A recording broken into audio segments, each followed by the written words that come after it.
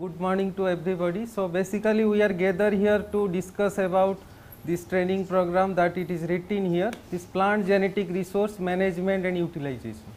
But I have put this title, how the plant genetic resource can be phenotypically and genotypically characterized so that you can utilize the important informations, if important uh, informations in terms of uh, new allelic variants and associated with the particular trait and that you can integrate and you can utilize for crop improvement. So, I will give you some basics because how to do that some basics and then some applications which we are already done in case of chickpea how we have utilized the genetic resource of chickpea for crop improvement. So, that I will give some example. So, coming to this title that is characterization of plant genomic resource for genomics assisted crop improvement. So, first we need to understand what is crop improvement first. So, why we need crop improvement?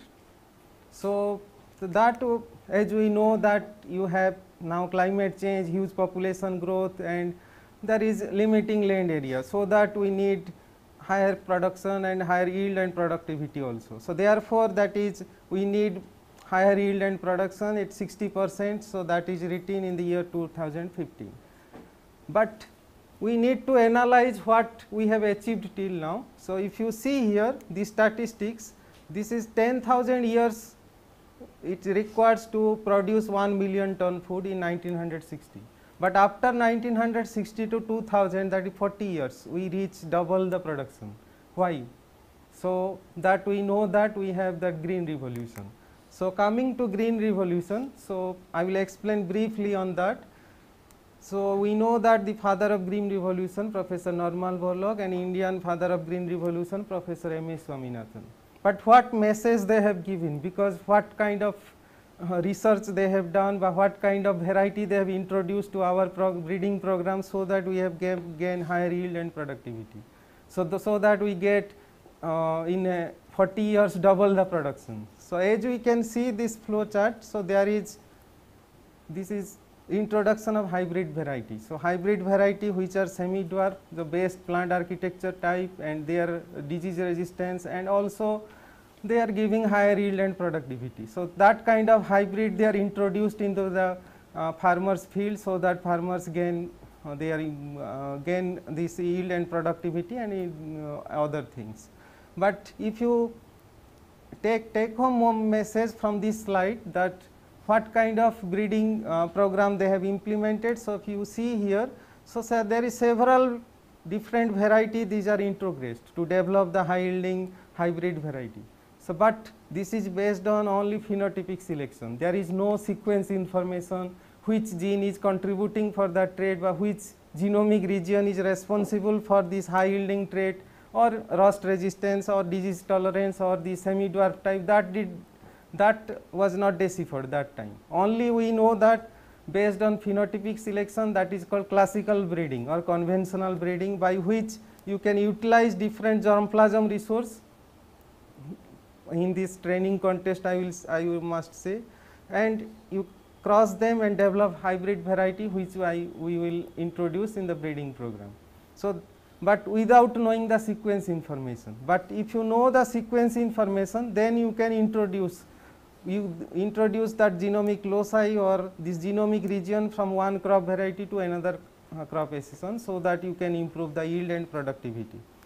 So, coming to our history, so how, so if you see here the 1960 there is green revolution was done, but the sequence information first was deciphered by first DNA sequencing that is Frederick Sanger by 1975. So, till now we did not know about the sequence information. So, once the genome uh, DNA sequence was carried out in 1975, then you can see that is PCR uh, uh, discovery and also DNA fingerprinting and different kind of molecular marker. So, that as we know that that is random marker, sequence based marker, RFLP, RAPD, STMS, AFLP marker and now we are in the phase of SSR and SNP marker. So, this kind of evolution has done so that now we know that which sequence is important for the particular trait. So, therefore, this development has done. So, therefore, in 1999 that is fast QTL mapping from map based cloning the rust resistance in the barley was uh, identified these genes which are responsible and that was introgressed in the wheat and see their uh, implication. But coming to our sequencing effort, so I try to classify them into three because first we need to understand what is the our evolution in terms of breeding and also sequence generation so, if you see the first generation one, so utilizing the first generation sequencing. So, as we know that at 2000 to 2005, so the three major crop plant genome was decoded. So, one is rice, uh, first is human genome. So, it is of course, it is not crop plant, but it gives us the uh, idea that how genome sequence can be done utilizing whole genome shotgun approach.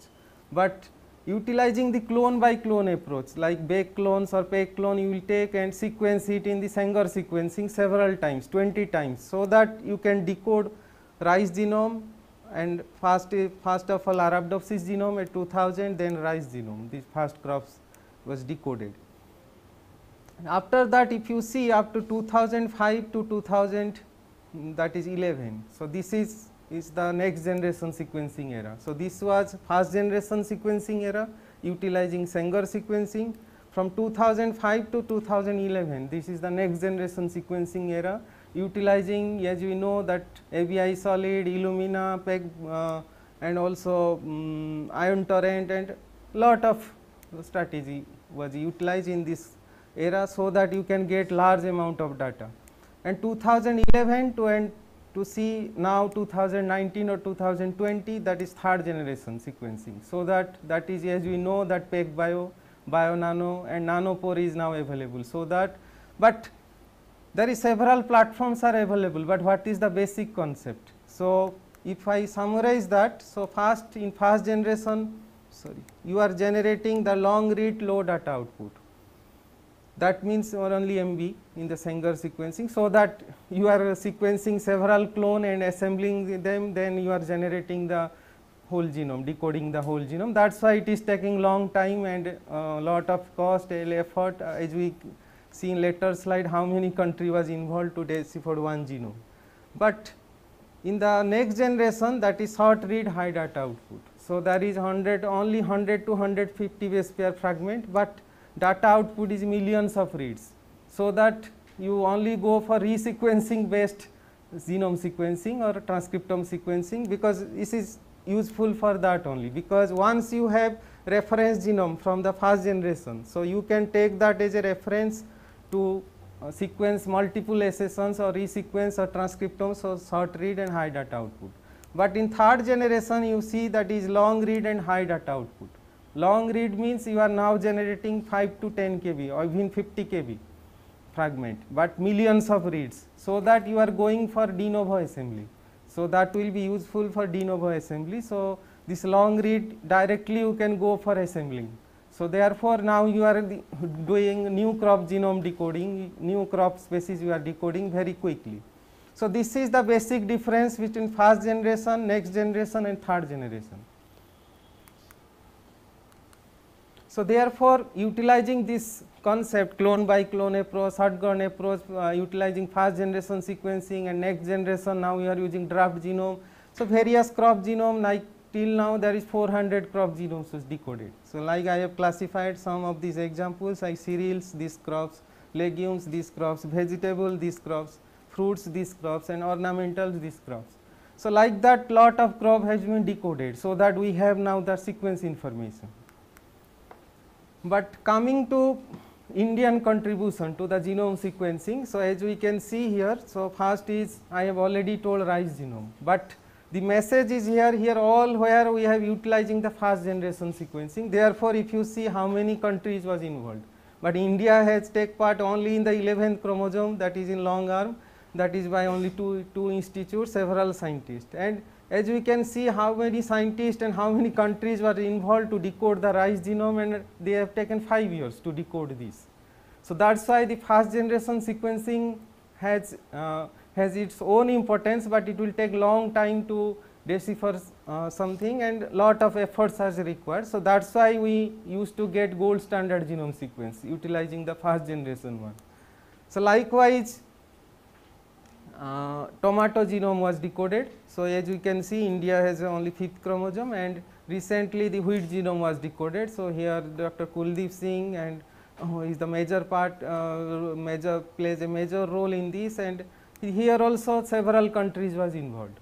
So, as I can explain here, so the basic message is there utilizing the first generation we have we have taken lot of time and lot of efforts and lot of Uh, uh, uh, cost is required. But if you see only crop genome which are decoded in India by only one institute, by only one group research group. So, as you, I will give this example that chickpea, chickpea was decoded by NIPGR so, that is desi and wild chickpea. So, only 4 scientists they have decoded because of NGS so, and only it has taken 2 to 3 years time to decode this. So, therefore, utilizing the NGS and third generation sequencing we can expedite the process of decoding the genome. So, only 1 or 2 person can involved and do that.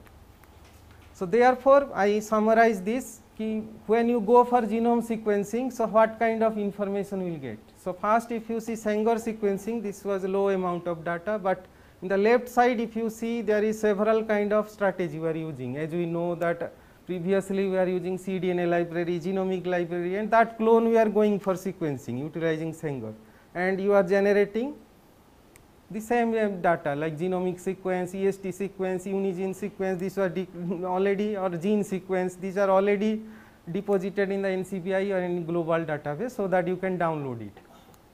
Because utilizing the information from any crop genome, so first we need what kind of information we can decode first.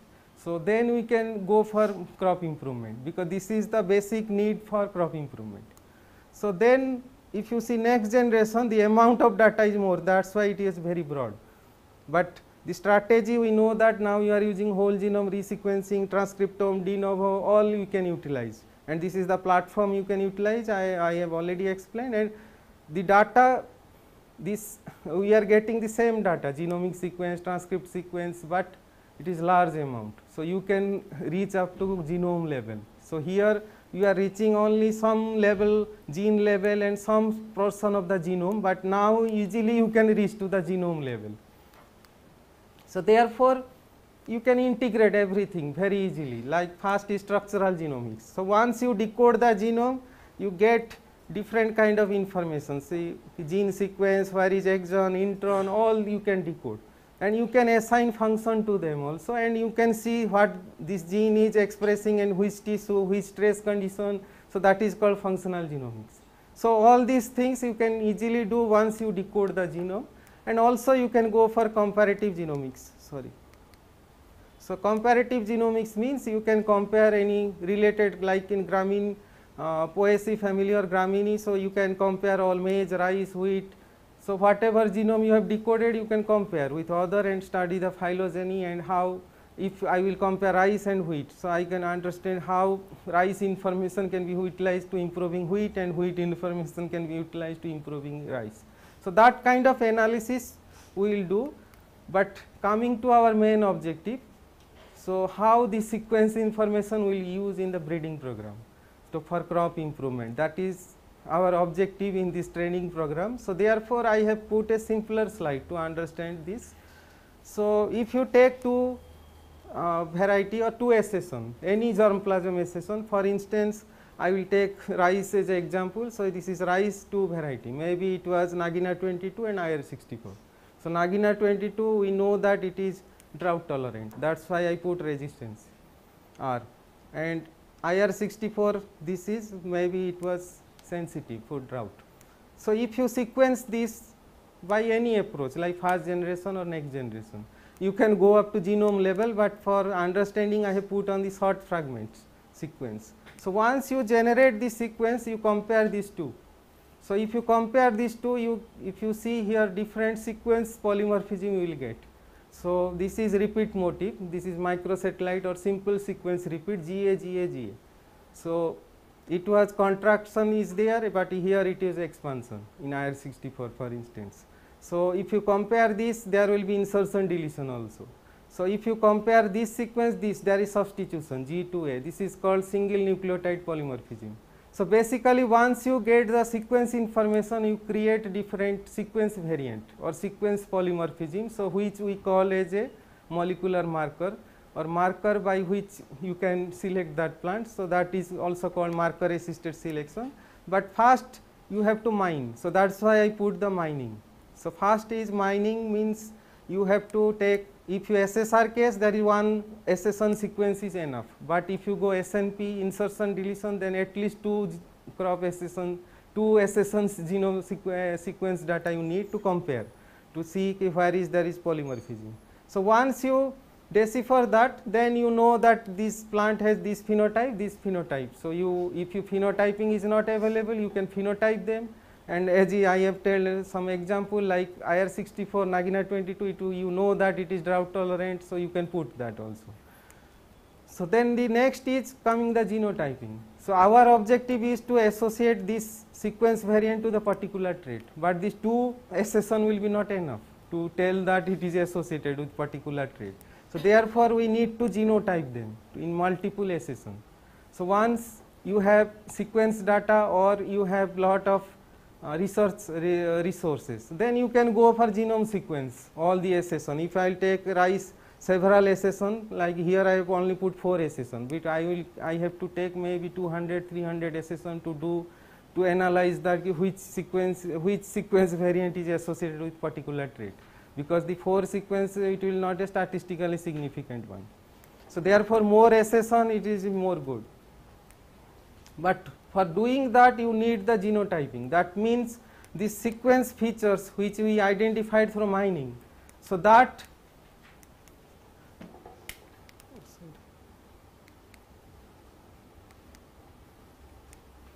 So that you have to see in all the other SSN how it is present. So that means once you will sequence this all this SSN you get this information or you can target this SNP directly and go for genotyping different platforms. So, I will explain in later slide there is different methods for genotyping mining and genotyping. So, one is now people are going for sequencing several SSN no, without going for genotyping another is genotyping means you can target this known sequence variant and you go for genotyping like SSR case you can design primer and go for gel based assay. So, as I have explained here, I will uh, explain in later slide. So, once you generate this kind of uh, sequence variation data, so you can phenotype this SSN for different trait like I have put here resistant, sensitive, sensitive. So, if you take this is abiotic stress tolerant, so there is combination of GA, GA, GA, GC. So, this GC is defining is a resistance, so therefore, wherever resistance is there, GC is there but wherever sensitivity is there AG is there. So that this if you take this uh, uh, locus so there is GA variation is there but here CG variation is there. So therefore it is you are creating new allelic variant here. So that's why I put this term so one is gene. So gene means if you take this is a gene sequence like I have taken is a DREB gene. So you I can tell it is a DREB gene where the sequence variation is there. So, if I sequence in several SSN, I will create different allelic variant like GA, GA repeat motif, SNP, insertion deletion, so that we can create. And another is haplotype. So, haplotype means there is combination of sequence variations which are present in the one gene sequence or any fragment of sequence like GC I can tell as a resistance one haplotype and AG I can tell another haplotype. So, GC haplotype is associated with resistance and AG is associated with sensitive and another is marker. So, marker I have already told by which you can identify something like I can identify here resistant genotype is GC is defining the resistant type. So, if I will tell that the GC is really associated with the resistance then I can go for selecting the plant based on this GC wherever I will take any plant and go wherever GC will be there and I phenotype them and get resistance and I can tell that it is associated with resistance and by which you can improve the sensitive one through marker assisted selection. So, you can take this as a donor and introgress this allelic variant to sensitive type and try to uh, change the sensitive type to resistant type. Like also you are doing genome editing, you can change this mutation site. So therefore, utilizing this germplasm resource like V1, V2. So I have taken for one, two germplasm accession maybe. So these two germplasm accession has different trait, different useful trait for particular trait particular agronomic trait like here case like disease resistance or drought tolerance. So, if you sequence them you can get this kind of information new allelic variant, new haplotype. Once you associate this allele and haplotype to the particular trait through association and QTL mapping. So, first as you can see the association mapping. So, if I will take different germplasm accessions which are not crossed or not any biparental mapping population nothing only the accessions which are existing in our gene bank or any uh, uh, germplasm repository center. So, we can collect them take their passport data I will explain in later side how we will go about this. But this germplasm accessions without so here there is only historical recombination. So, we are not doing any human breeding effort here only germplasm accession if you genotype them then through association mapping you can associate it with particular trait. But if I will take these two accession like Nagina 22 and IR 64, I will, I will cross them and generate different segregating lines like recombinant inbred lines or any F2 by F3 segregating lines. So, you will get the similar kind of data sequence variant data once you genotype them. Then you, if you associate with the trait then it is called QTL mapping. So, in QTL mapping we are targeting the biparental mapping population, but the concept is same everywhere you are generating the sequence variation. So, once you create the sequence variation in case of germplasm accession it is called association mapping if you segregating line or your recombinant inbred line or near isogenic line you can tell as, as a QTL mapping. So, once this association and QTL mapping both will be done you know that this is the SNP but this is the loci which is associated with particular traits then you can go for crop improvement. So, therefore, this how to utilize the germplasm accession for crop improvement. So, this is the basic strategy. So, if I understand that so it will be very easy. So, therefore, in several approach several uh, steps there is several new platforms are there. Because based of our objective cost effectiveness our resource our whatever money if you have available you can choose the genotyping platform. So, I will explain in later slide, but the next is first is what kind of germplasm accession we need to sequence. Because in gene bank there is thousands of germplasm. You cannot go for sequencing by all.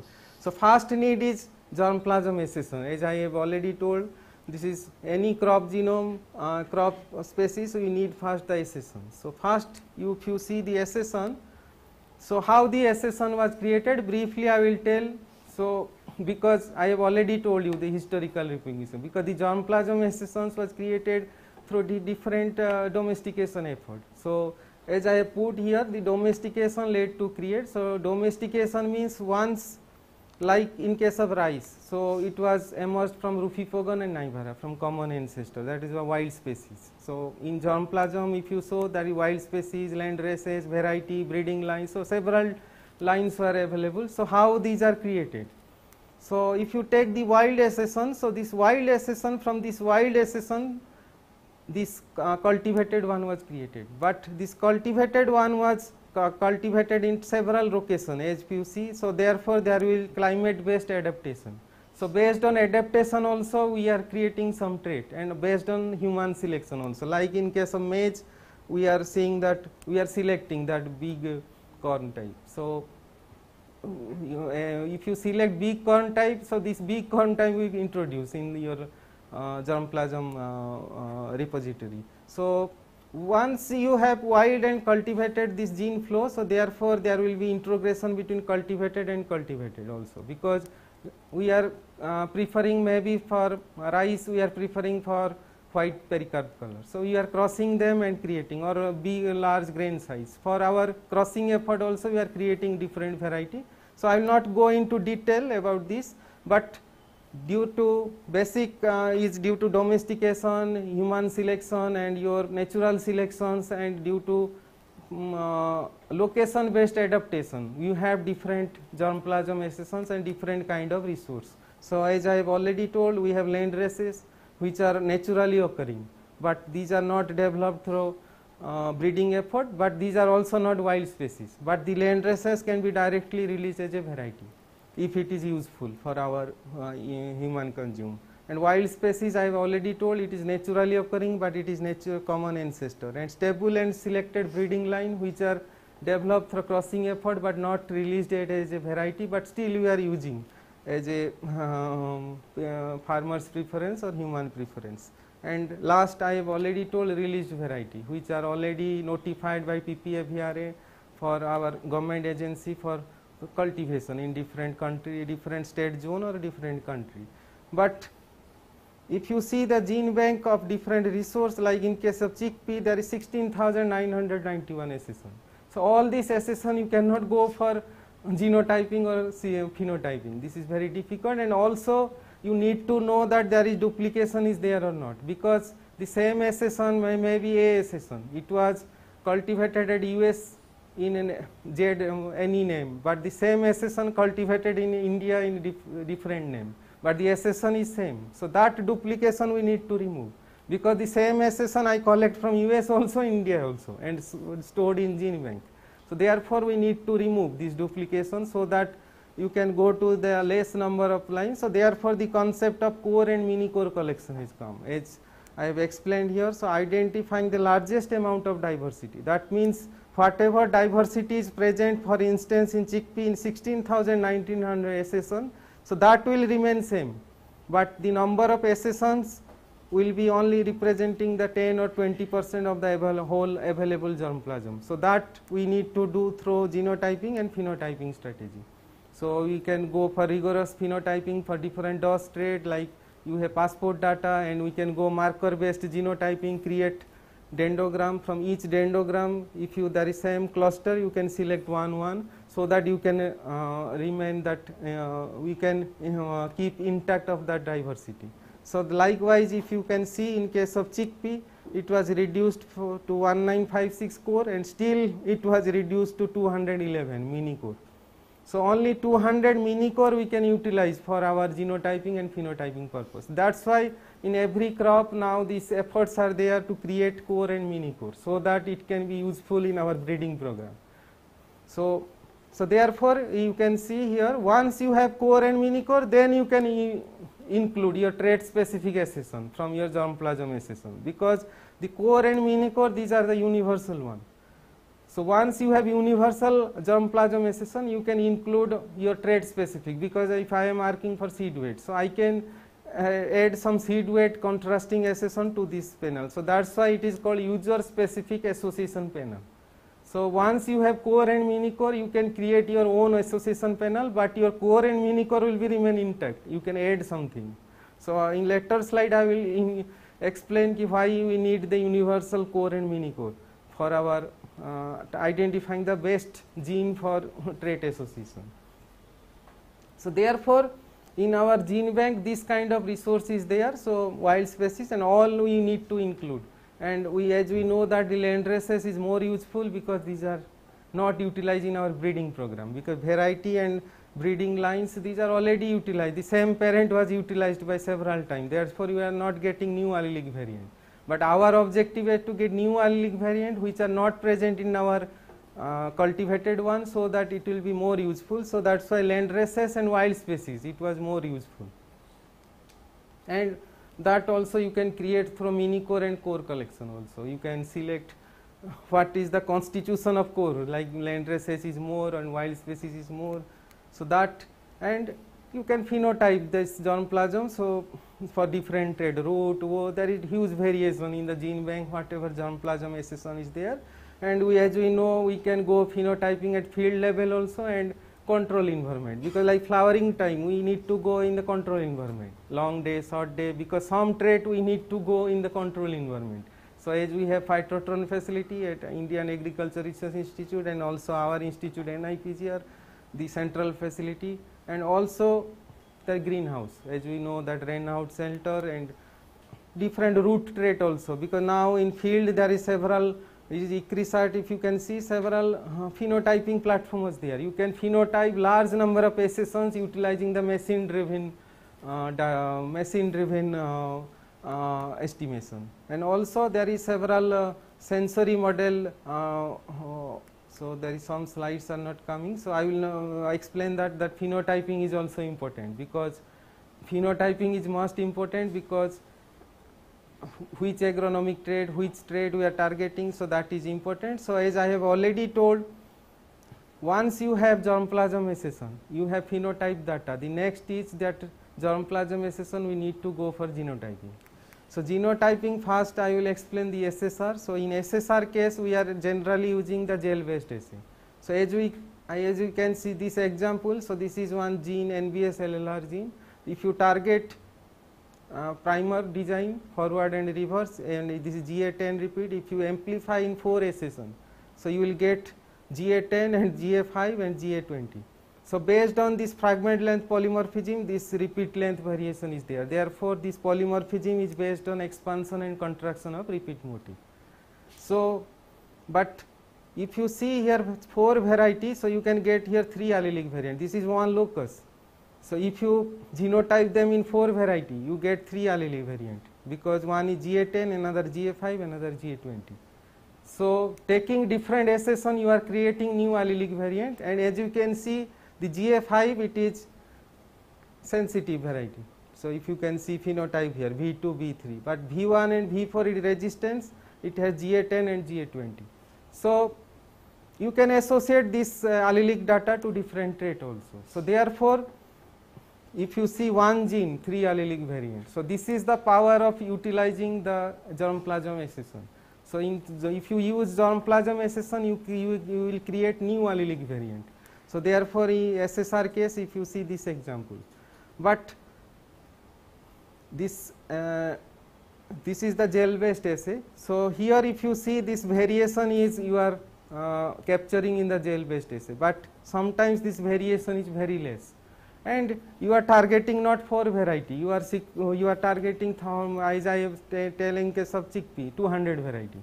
So, 200 variety and to genotype thousands of SSR marker at genome level, it will take long time. So, therefore, we need some high throughput approach for genotyping. So, this is the low, low throughput and medium throughput as we know that we have uh, different platform like uh, Caliper and all these things like Page also, but most acceptable method is one is you can go. So, here if I will say here, so if you this is the GA10 repeat motif. So, here without knowing the polymorphism I am designing primer and seeing that it is giving polymorphism, but if I design primer it will not give you polymorphism or not variation. So, this primer is gone waste. So, therefore, if you have sequence data priorly of two accession, so then you can compare those and see that where is that in silico polymorphism, so that you can design primer there, so that it will definitely give you polymorphism in the gel, so that if your genome level if you have thousands of SSR marker if you compare the two accession data so it will become only 100 so that 100 you can genotype and priorly you know that how much fragment size difference is there so that you can tell that it will be you can resolve in gel based assay or you need page and whatever. Here 10 base pair that's why gel based assay so targeting. So, here this NGS was applied because these two genome this is chickpea desi and chickpea kabuli accession both uh, wild accession both were sequenced at genome level. If you compare you get different in silico polymorphic marker. That is why if you go now any crop genome paper, decoding paper, sequencing paper you see this kind of data is available. So, that directly you can design primer and go for genotyping. So, that you will uh, get polymorphism in less time and you will not waste resource for designing lot of primer which are not giving you polymorphism in the gel. So, because without polymorphism there is no use of that marker. So, if you will not differentiate different accession. So, therefore, the next approach as I already told that automated fragment analysis. This is the best acceptable approach for SSR genotyping till now in case of uh, uh, microsatellite. So, here is the concept is there this SSR primer which we are designing the forward primer. The forward primer 5 prime phosphate group it was labeled with fluorescent dye. So, this fluorescent dye can be hex this is green color NED this is black color PET this is red color FAM this is blue color. So, if you label them with different color you can go for multiplexing. So, that you can if you uh, multi uh, label 4 primer, so you can multiplex 4 primer and you can amplify this 4 primer and put all this uh, amplicon in the 196 plate and 10 plate can be accommodated here and in 2 hour you can genotype them. If you take whole day 24 hour running then how many plate you can uh, genotype you see.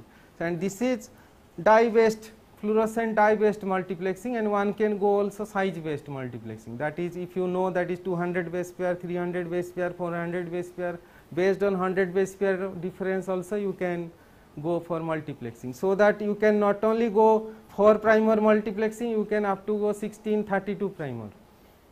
So and here the major important point is you can differentiate it only two base pair. If you see this is 1989 base pair and it is 119 base pair. Only two base pair difference also you can able to differentiate. That not able to you can do in the gel based assay and gel based assay the fragment size you are uh, comparing with the ladder known ladder and you are doing visual estimation. So it is not accurate. But here through software you will get what fragment size it is there so if there is known ROX dye is there based on ROX dye it can tell that which fragment size is there in the excel sheet so that you can get precise allele sizing and it will be multiplex because you are targeting large number of marker and uh, numerous germplasm accession. So that you need to reduce the genotyping cost also, genotyping time also and your precise method of genotyping also. So that all information you can utilize in the breeding program.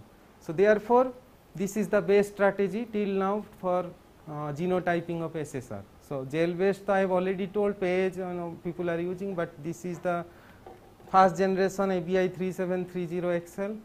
Uh, this was um, uh, Sanger sequencing approach where you can utilize this strategy for genotyping.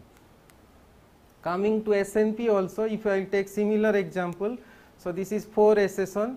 So if you 4 accession if you sequence them you will get different allelic variant.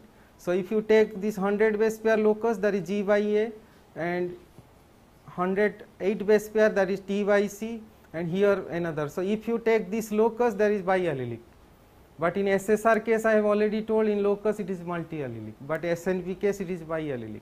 But how to convert this biallelic to multiallelic so that SNP can be utilized because this difference is there. SSR is less abundant because repeat motif is less abundant but SNP is highly abundant in the genome. But SSR is more useful because it is multi-allelic, but SNP is less useful when you take particular locus it is biallelic. So therefore the concept is there to convert if you convert SSR SNP to biallelic to multi-allelic so that it will be used uh, act as a SSR so that it will be useful for your characterizing the germplasm accession when you go for genotyping. So therefore if you see here so based on haplotyping you can create the multi-allelic. If you take all these locus together the GTC will be one haplotype and GCA will be another haplotype but ACA will be another haplotype but it is present in two variety. So therefore if you I will explain this one gene 4 allele but it will be 3 haplotype 3 multi-allelic haplotype so that you can go for trait association utilizing this allelic variation information. So therefore utilizing different accession of germplasm or genotyping you can create different allelic variant so that you can go for uh, crop association therefore different SNP likewise I have told SSR like SNP different genotyping strategies there. So if I classify them because in every uh, genotyping by every sequencing there is revolution because this is the first generation when we have this Sanger sequencing, we go for clone amplicon sequencing. So, you can take one fragment, go for cloning or directly PCR based sequencing, but it is not useful because you have to target thousands of germplasm, thousands of uh, PCR amplicon. So, every time it is not possible to clone. So, it will not cannot be high throughput. That is why it is low throughput, this is medium, this is high throughput.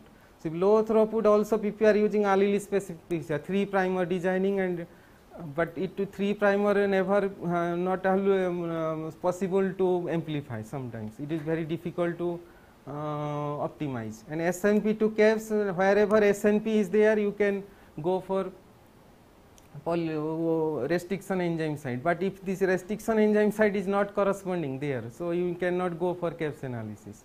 So therefore in SNP case this difficulty is genotyping in the breeder level because you have need specialized platform or specialized infrastructure to genotype them. So therefore SNP was very uh, uh, very less used in the breeding program for genotyping till now in India for instance.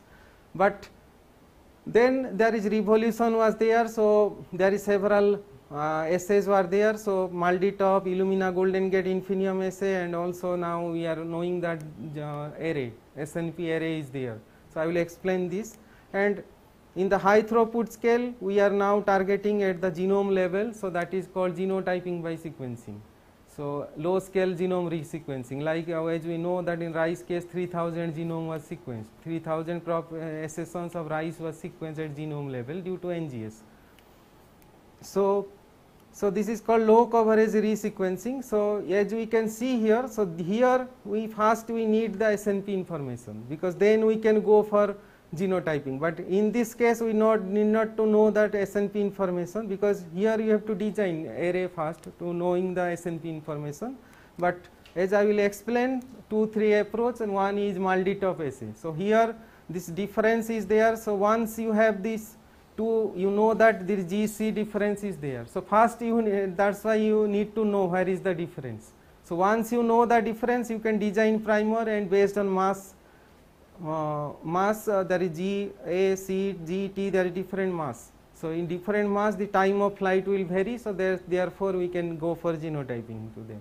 So this is called mass array so, it is also useful for insertion deletion detection also, but here the major problem is first you need to know about the SNP information. So, therefore, first you need to generate some sequence data. So, then you can go for genotyping. But the next is this is called fluorescent here also the similar thing, but here this each primer has to labeled with FAM and hex, so it is called KASP assay.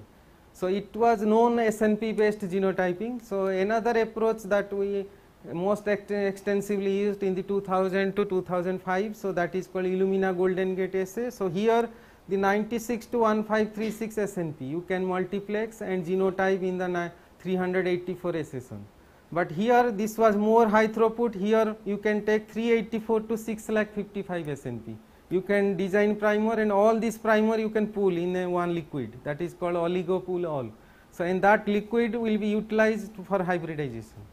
So, and once you have hybridization uh, with array, so you can decode them because there will be demultiplexing and once you decode you can get different allelic information. But here the multiplexing capacity will be 6 lakh 55 SNP you can multiplex and 1172 genomic DNA you can genotype. So, in two, day, two days time you can genotype this level. So, now this most acceptable approach this is called SNP array. So, as I have already told this example this was developed by Professor N. K. Singh this is 50 k SNP chips it was now most widely used in the chickpea rice breeding program, but here this major uh, uh, importance is there. So, if you have 50 k SNP array for instance 50 k means 50,000 SNP. So, if you have to design primer for 50,000 SNP and this all these primers was present in this one array. So, it is the 96 plate. So, 96 genomic DNA will hybridize each array contain 50,000 SNP, but it is in the solid support. So, if it is in solid support that means it was more reproducible, but in Illumina Golden Gate Infinium assay is liquid medium. So, that is why the hybridization is every time is not same therefore, the reproducibility will be less that is why it is more acceptable now. So, therefore, in rice case there is 70 k SNP array is also available. And now I have already told, so all this platform you need for SNP information for designing, but now as we know that we have genotyping by sequencing GBS assay. So, where you can go for genome wide SNP discovery and genotyping both can be done. You need not to design target first SNP. You take genomic DNA, digest them with FAK1 so and you ligate with different barcode. So different barcode will be called Illumicode. It is only possible in the Illumina platform. So they have 384 barcodes. So the 384 accession can be barcoded. So barcode is you know that it was the known adapter. So that you can utilize later on for decoding them So once you uh, barcoded them, all these 96 sample can be pulled and sequenced in one lane of the Illumina platform. So that one lane will be data will be 16 to 18 or if you it is um, or um, other platform it will go to 40 GB. So 40 GB means in 96 sample each SSN will get some data. So that's why it is called low, low scale resequencing because in genome resequencing you are directly going for one uh, lane or two lane sequencing. But here you are multiplexing 96 but amount of data will be less. So therefore, per sample data will be less. But you will get novel SNP information and also genotyping data because 96 sample genotyping data will get directly. But there you are targeting two SSN first, sequence them, identify SNP, design primer, go for array designing, feed genotyping. 96 but here directly you can go for genomic DNA go for sequencing. So therefore it is uh, the most uh, quick approach but here the problem is there the restriction.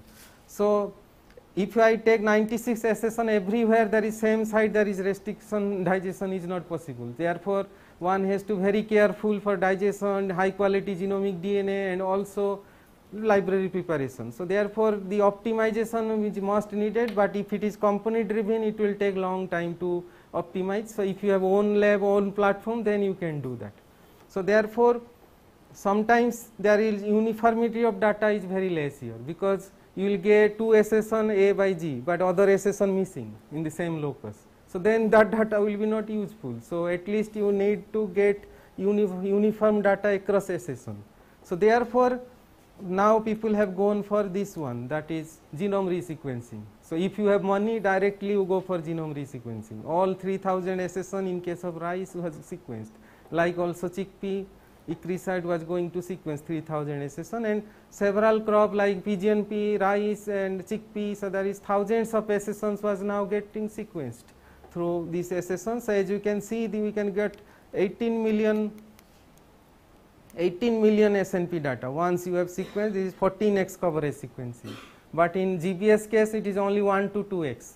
But here there is 14x and it is crores of rupees money was involved.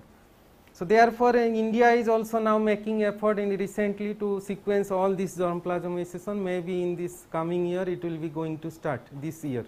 It will be launched. So Coming to, I have already told, so quickly I will go association mapping. So as I have already told, QTL mapping, you are taking bio, biparental mapping population, but in association mapping, you are creating, taking several associations, therefore large amount of allelic data. So, and what kind of need is required? So I have already told you need germplasm, genotyping data, and if it is gene based genotyping data then it is called gene, gene, candidate gene based association mapping if it is genome based data then genome wide association mapping and you need population structure and all this data as I will explain here. So, and also you need okay, how many SNP is required to go for genotyping because that is called calculation of linkage disequilibrium decay by historical recombination decay. So, by which you can tell that in case of rice it is 100 to 200 kb at genome wide association means if I will take 100 to 200 kb one SNP it will be sufficient to get that resolution. So, it is depend upon also pollination and also crop complexity genome complexity like in rye eh, maize it is only 1 kb because it is cross pollinated. So, based on that one has to calculate how many SNP we require for genotyping and as I have already told what is the core and mini core and why user specific panel because this we need to delineate because if I will go for grain size association mapping. So, I will knowingly know all high grain type and low grain type and all then SNP will be differentiated. In that case whatever SNP I will get that is not due to trait difference only due to my selection. So, that is why we need to include core and your user specific assessment for particular trait. So, that if it is core will be there then there will be no biasness for particular trait. So, therefore, different statistical analysis is there. So, one is uh, that is GLM means here only uh, generalized linear model where only phenotyping genotyping data. But here MLM and EMMA and all this we need this population structure data because it will delineate whatever uh, um, uh, SSN I have select based on our my choice. So, that uh, SNP data that SNP if it is associated that will be got deleted. So, based on false discovery rate correction. So, only best SNP which are associated with particular trait that I will get. So, therefore, several uh, um, efforts has been going on in case of rice that is 457 570 lice rand races was sequenced and 3.6 million SNP was generated and that SNP was associated with if you see tiller number, grain number, grain length. So, they have done different associations. If you do 517 land races different phenotyping data you will get this kind of assessment and also uh, utilizing the array based genotyping also 400 diverse rice accessions also so phenotype for different trait and different known and unknown SNP and trait you are getting for association. So, coming to mapping populations as we know I have already told you are taking two contrasting ones. So, you can create near isogenic line if you back cross them and you can create recombinant inbred line. So, based on single seed descent method F2 to F7. So, this is one example in case of uh, chickpea if you see desi, desi low seed weight, high seed weight if you cross in RILs there is several phenotyping data you are generating. If you see there is 10 gram, 15 gram, 100 seed weight so, this variation you can now this accession you can now go for sequencing genotyping data and associate with the trait through QTL mapping. So, therefore, to uh, getting these RILs and NILs we are um, uh, getting 7 8 years time. So, that is why the speed breeding concept has gone. So, we can quicken the process of generation of data and phenotyping. So, based on if you see this if it is two parents. So, if you sequence them there is C by G. So, F1 there will be C by G and if you selfing F2 there will be homozygous and heterozygous. So, if you genotype them in several accession you will get this kind of data. You can score them in terms of A, B, H, A one uh, parental type, B another parental type, H will be heterozygous type. If you score them and you can construct high density linkage map fast. So, because here the difference is based on genetic distance. So, that is called uh, centimorgan. You have to calculate your recombination frequency. So, they are in association you are doing historical recombination based on Kb that is called linkage disequilibrium, but here it was your own recombination that was centimorgan. Therefore, whatever mapping population parent will use it will this uh, recombination will change. So, therefore, you have to generate this linkage map every time to get the best QTL to be done. So, therefore, there is several software as we know that now JoinMap several softwares are there to create this kind of linkage map. So, yeah, as I will explain this if you take SSR this link because I, I already told SSR it is less distributed. So, therefore, more dispersal more centimorgan intermarker distance but SNP case it less than 1 centimorgan because it is widely distributed. So, therefore, we need to put more marker. If you put more marker that will be high density linkage map so that your chance of getting the QTL best QTL and reducing that uh, narrowing down that QTL to particular gene because our objective is not the get, mm, get the QTL because QTL is consist of multiple gene you get the right kind of gene or right kind of allelic variant which you try to introgress to your breeding program. So, therefore, high density linkage map is always required that for SSR based genotyping is required. So, that is why this population resequencing and several kind of linkage map people are generating and you can now go for uh, QTL mapping. Once you have linkage map you can go through single marker analysis, simple interval mapping, composite interval mapping. So, you can tell that this is the QTL, this is the marker. So, most widely used is composite interval mapping you need to know flanking marker. So, once you have this flanking marker through creation through MapQTL 6 uh, program. So, you can able to know that this is the QTL and this QTL region is itna centimorgan, this many centimorgan and this is the flanking marker, this is seed QTL and if you associate that with physical map because this chromosome was sequenced already and this marker physical position you know. So, the genetic and physical position if you correlate then you know that it is this much kb and this many genes are there. So, then if I will tell here this QTL region there is 50 60 genes are there. So, out of this 56 gene which is responsible for our seed weight then you go for fine mapping to or map based cloning to reach to the particular gene. So, therefore, here also the NGS was more uh, sequencing also more much needed. So, I will explain in later slide how it is required. So, as I have already told now people are not going parental polymorphism survey one by one. So, they are sequencing whole uh, segregating line based on population resequencing. So, if I have all segregating line phenotyped line all I can go for sequencing and create recombination bin map. You can see the red is uh, your A type, B is your um, another parental type. So, if you create that you can directly identify the loci which is responsible. You need not to go for uh, parental polymorphism survey for each par two parent every time. So, therefore, the time period will be reduced utilizing this NGS strategy. So, another resource as we know that we have mutant population. So, if you uh, take one like in case of rice also Nagina 22. So, if you uh, treat that EMS and several uh, radiation based mutagen you can create mutation and that mutation also mutant and wild type you can cross and go for sequencing through SNP index and once you sequence the segregating line and parent you can show that which SNP is linked to the trait. So, that is called MutMap, mute map approach. So, everywhere if you see this sequencing and genotyping is important. So, once you have pheno well phenotyped germplasm lines, segregating lines or mutant population, once you have well phenotyped. So, if you put best genotyping or sequencing strategy, you associate with the trait and you get the gene and that gene you can utilize in your uh, breeding program. So, therefore, coming to our research program quickly I will go in 10 minutes. So, uh, as we have already told in NIPGR we have decoded desi and wild chickpea. So, because I try to highlight some example how we have utilized our NGS strategy for improving chickpea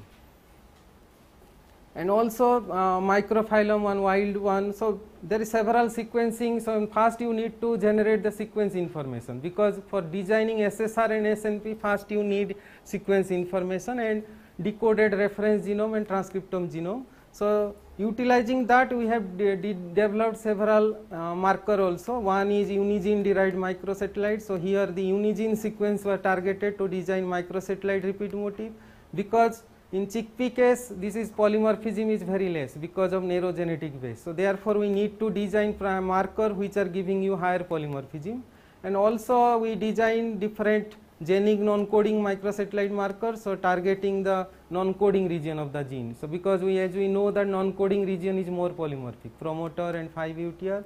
So, once we design that we see these are polymorphic and also I have already told in silico polymorphic marker and also different transcriptome sequencing data also you are utilizing because in silico polymorphism and this database is there chickpea database so that any research community can utilize this marker for your use like in silico polymorphic or best marker. So, also we target different transcription factor domain and that is called transcription factor. So, here if you can see the polymorphism potential is very high.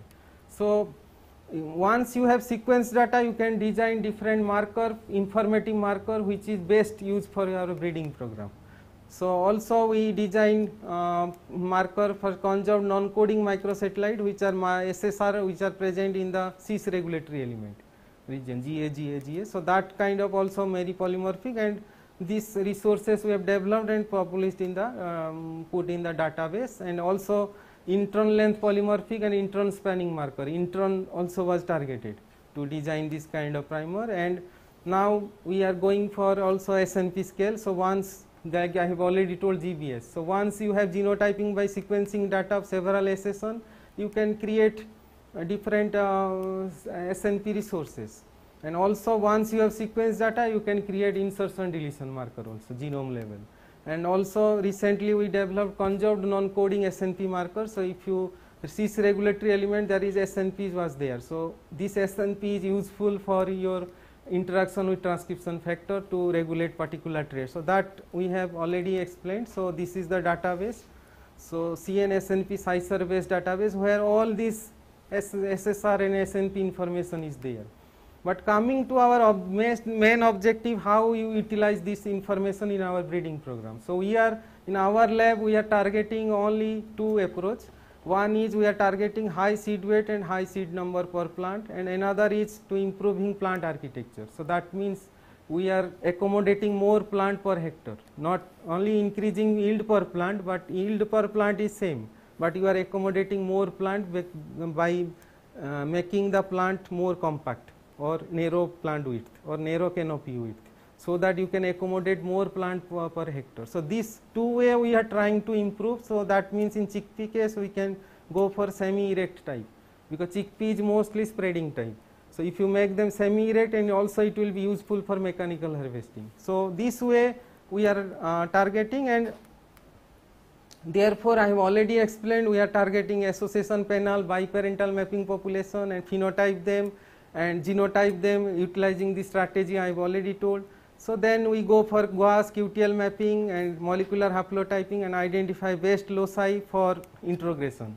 So, in chickpea case we have this kind of resource available. So, we have 575 germplasm accession, different mapping population and also EMS induced mutant line. Since all these germplasm accessions we have phenotyped in several locations and this constitute land races, variety, breeding lines, wild accessions for different trait if you see. So, not only we are targeting seed weight, eh, one has to see other trait also not influencing because of pleiotropic and epistatic effect. That is why each plant we are phenotyping for all these yield trait. So, therefore, there is huge variation in the seed weight and seed number. So, once you phenotype them you know that which line is different, which S panel is how much different. So, once you phenotype them you go for sequencing. So, we sequence this panel and got 6 million SNP, but this 80,000 is present in all accession. So, that we have utilized for population structure because this is must for doing association analysis, then we go for association analysis. And we identified one seed weight SNP which is associated present in the ABC transporter gene and which differentiating A by G and it is associated with the seed weight of chickpea 100 seed weight. So, this loci was again we validated through gene by gene sequencing that because if you see everywhere there is NGS and genotyping is there because chickpea case there is this uh, linkage disequilibrium decay is 200 to 300 kb. So, if I will get one SNP associated I cannot tell this not other SNP was not associated because I have not sequenced 200 to 300 kb that is why we put this gene by gene resolution and association analysis. So, we working gene by gene to um, validate that this SNP is really associating with the trait. So, once it is validated by two through GWAS and regional association analysis, now we go for QTL mapping. So, because sometimes in association panel it may be spurious because you are taking different accession. So, therefore, we take taken Desi Desi one mapping population Kabuli Kabuli. So, Desi low seed weight, high seed weight, Kabuli low and high seed weight and these accessions was already included in your association panel. So, therefore, this allelic variant is already we know that it is there. So, therefore, if you take Desi Kabuli together then it will be low and high seed weight because Desi Kabuli is already large seed weight. So, therefore, you will get SNP based on your Desi Kabuli difference not due to seed weight difference. So, therefore, we have taken Desi Desi separately, Kabuli Kabuli separately and go for QTL mapping. The similar way phenotyping for seed weight and first I have already told we need to generate high density linkage map. So, we have put 786 SNP and it is intermarker distance is 0.19 centimorgan and we go for QTL mapping. So, as we know that in this QTL region CAQ SW 2.4. So, Cicer arietinum QTL seed weight at chromosome number 2 it was 1.8 centimorgan. But here this is the ABC transporter gene which we have got through GWAS analysis. So, because basically we are integrating GWAS and association uh, QTL mapping together to get the right gene. So, here this is there, but if you see this 178 centimorgan it corresponding to 437 kb physically, but it is 46 gene was there. So, then I cannot tell that this out of this 40 genes 6 gene this ABC transporter is responsible. Therefore, we need to go for fine mapping. So, therefore, we go for uh, sequencing this region in the 291 accessions which are high and low seed weight type because here we are taking only two parent. So, therefore, only two type of allelic data you are generating. If you take multiple accession there is huge number of allelic variation you are getting so that you can reduce them into particular. So, that is called QTL region specific association analysis. So, if you target QTL region and sequence in multiple accession So then you create multiple uh, allelic data so that you can correlate with the particular trait so that you can quickly reach to the particular gene instead of creating more number of plant for fine mapping or parental polymorphic survey. So this is the power, power of NGS so that you can go for targeted resequencing.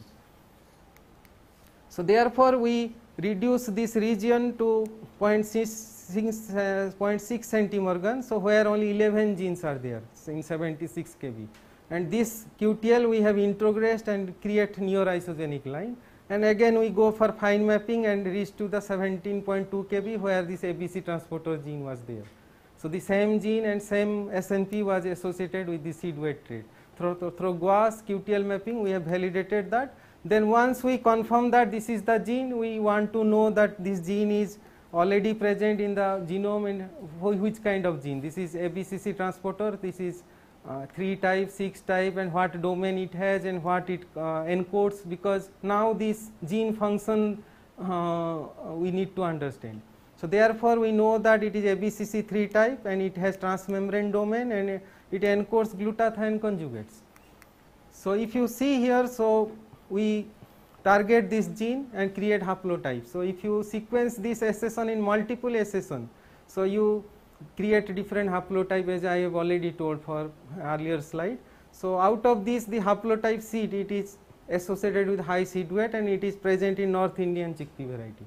All North Indian chickpea variety has this high seed weight type and haplotype C. Therefore, this haplotype one can utilize for crossing for introgressing in the low seed weight type to create near isogenic line. Or I can introduce this haplotype in any new high yielding variety of chickpeas or create new allelic variant. So therefore, we go on for this kind of analysis, we create low seed weight desi and uh, uh, near isogenic line uh, by introgressing this haplotype. And high seed weight, uh, Kabuli low seed weight near isogenic line, Kabuli low seed weight both so that this 4 line we can now utilize for your functional genomic study. Because in chickpea it is difficult to create transgenic. Through recalcitrant it is a lot of recalcitrancy there. So, quickly this 4 line which is homozygous for particular trait if you see only this loci was different. All are same. Through foreground and background selection we have know that this is only difference where this gene was introgressed the high seed weight only the CA BCC haplotype is there. So, that haplotype has higher seed weight and this line first we have compared with different high yielding variety to know that it is giving best performance or not. Because we need to know this gene is doing some pleiotropic or epistatic so that other trait may be undesirable trait is coming so that this line by this haplotype will be not useful. That is why the superior haplotype is needed. Superior means the trait which you are targeting that also improve but other trait it will not affect or uh, if it is effect but it will giving the desirable effect. So, that it will be preferred by farmer by any person. So, therefore, we compare this and try to understand the gene function quickly I will go through this. So, we do the expression analysis in different seed development because it is seed weight gene. So, know that where is there is seed weight difference is there why it is coming. So, in later development in cotyledonary stage there is higher expression in the high seed weight near isogenic line. So, then we go for reciprocal cross to know that it is paternal or maternal effect or it is seed development assay to know which stage is giving higher difference and glutathione conjugate I have already told the transport assay. In high seed weight we done the yeast complementation assay to know that it is this uh, uh, the gene is able to transport glutathione or not. So, in high seed weight there is higher transportation. So, as I will summarize here so, higher expression in the higher large seed size and higher transporting of glutathione conjugate therefore, there will be um, more breakdown of sulfur rich compounds and therefore, there is higher protein also. So, therefore, this line is uh, this haplotype once we introgress in Indian variety it is not only giving the higher seed weight and higher yield, but it is giving high protein content also because of this glutathione transport ability of this gene. So, therefore, this line was now introduced in the AVT1 trial and it was already evaluated and it is now in the AVT2 stage and it has this importance higher yield and see. So, if you see here how you have utilized the germplasm resources and try to introgress the identify the best gene try to introgress in our variety to develop high yielding variety. And likewise also Kabuli, extra large Kabuli also high consumer preference. That's why that haplotype also we taken 19192 that is Mexican origin. So that was Mexican origin uh, uh, races that uh, Indian origin cactus. It was introgressed and high seed weight we are getting. So therefore every time the germplasm accession which were not characterized until yet so, that will be useful if you get new allelic variant for that which is the major objective of this training program. So, utilizing the best phenotyping and genotyping strategy you get best allelic data to introgress. So, as I have already explained we have in the process in this 5 to 6 year time we have developed several strategies so that people can do uh, QTL and gene mapping very quickly as I have already told we have done QTL region specific association analysis so, if you target this QTL and uh, reach uh, sequence in uh, several accessions, you will reduce to particular gene. So, then you do functional biology to get to the particular gene. So, this is called QTL region specific association analysis and also through QTL association analysis we dissected pod number genes. So, one cellulose synthase gene in chickpea also the similar way. So, here the pollination efficiency was getting affected and also as we already know there is several QTL seq strategies. So, all these accession we need not to go for sequencing or genotyping only the extreme type you can pull them and go for sequencing through NGS that is called QTL seq approach and we decipher the gene for pod number and also flowering time also. So, in also chickpea case we have done association QTL mapping to decipher flowering time gene the EFL1 gene which is the best gene now for regulating manipulating flowering time in chickpea. And also we target several shoot apical meristem gene as I have already told to uh, manipulate flowering time and flower number because shoot apical meristem that is clavata gene. Shoot apical meristem is majorly because chickpea several accession we have phenotype for shoot apical meristems and based on their difference we identify which gene is important through QTL GWAS mapping and haplotyping and this is CLV3 is important because this is the master regulation of stem cell regulation. So, so this is the functional biology by which we decipher that what the gene is functioning in what way. So, it is published in a tag. So, you can see here this gene is giving more differentiation in seal that is why it is more initiation of flowering at the shoot apical meristem. So, therefore, early flowering is achieved and also we deciphered the similar way seed color of chickpea. So, it is a domestication trait how beige and uh, yellow brown color in case of Kabuli and Desi was deciphered this is the mate transporter gene. And also recently I have already told we have manipulated the plant architecture canopy width targeting the CABLS 121 gene it was published in plant journal.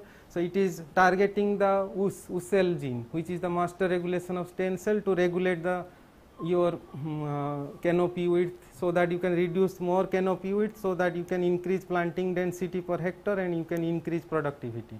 So, this line is already in the AVT1 trial. So, in this year we have targeted sev dissected several traits, but the strategy if you see I have already explained that pool based as QTL region, QTL seq all NGS based strategy and germplasm accession well phenotyped material and strategy quick strategy is there so that we can get to the gene and go for functional biology and understanding the gene function and also I have already explained the marker assisted selection how we will going for. So, therefore, we have dissected agromorphological traits, seed quality trait and several traits we have dissected and it was already published and uh, and we now we are targeting to introgress. But if you can see this example, so this is ICC 16374, it was Malawi variety uh, which has early flowering gene. So, that we try to introgress JG11. So, that is why every time the germplasm resource which were well phenotyped and well characterized which is not utilized in our breeding program that will be useful for our introgression purpose once you know that this is the gene or allelic variant is responsible for this trait. So, so as I have already explained if I will summarize this. So, now we are from random to PCR based, now we are going resequencing, now we are sequencing them all. All germplasm accession we are now going for sequencing. So, that efforts was already initiated in the Indian scale also. So, therefore, we are now in the phase of next generation sequencing. So, that we will go for sequencing. So, that is why I have put tick mark. So, I have already explained. So, the sequence information you can utilize for breeding program. Some examples I have already given and many publications is already there by several groups by similar way. So, but the major problem is there, so as we know that phenotyping, so that is also genotyping, the breeder which marker, which SNP, this is not useful when we have not platform of similar way in everywhere. So, for SNP genotyping and other we need to develop this kind of resources and also phenotyping as I told speed breeding and also there is huge computational facility and expertise is required because when you are going for sequencing to getting to the particular gene you need huge computational facility. So, therefore, India has already made effort so that this national genomics and genotyping facility was already established in our NIPGR with DBT. So, to expedite the breeding program to this is the theme three main objective one is to expedite the breeding program because there will be consultancy will be there. So, anybody can come with your germplasm accession and go for sequencing, genotyping and all this there. So, therefore, we have this kind of resource platforms are available Illumina NovaSeq, NextSeq, SSR genotyping, SNP genotyping I have already told, Caspase, Affymetrix GeneTitan and genome based if you go by sequencing. So, all these platforms and also computational uh, expertise is there so that you can go for downstream analysis. So, so basic objective is there. So, India this kind of efforts was already initiated so that we can accelerate the utilize our germplasm accession in our breeding program. So, coming to last uh, slide. So, I want to acknowledge my uh, first of all my uh, uh teachers from where I have studied this thing from my PhD days. So, Dr. T. Mohapatra, he is my PhD supervisor, DG ICAR and Professor Akhilesh Tyagi and Dr. N. K. Singh, Dr. A. K. Singh. So, who is still now here they are guiding me every time they are supporting me to getting this kind of work done. So, therefore, we are doing this kind of work very quickly and also uh, ICRISAT for getting this germplasm accession Dr. Upadhyay and also IARI Dr. Bharadwaj and Dr. Sailesh Tripathi and of course I will thank Dr. Kuldeep Singh because in PhD days also I have gone to their lab at PAU and doing several analyses and also he is now guiding me also to doing this kind of analysis who is the director of NBPGR and finally I want to uh, acknowledge my research team at NIPGR all my PhD student and SRF, JRF and financial support by NIPGR and DBT uh, external funded project like seed biology and many other project and thank you very much.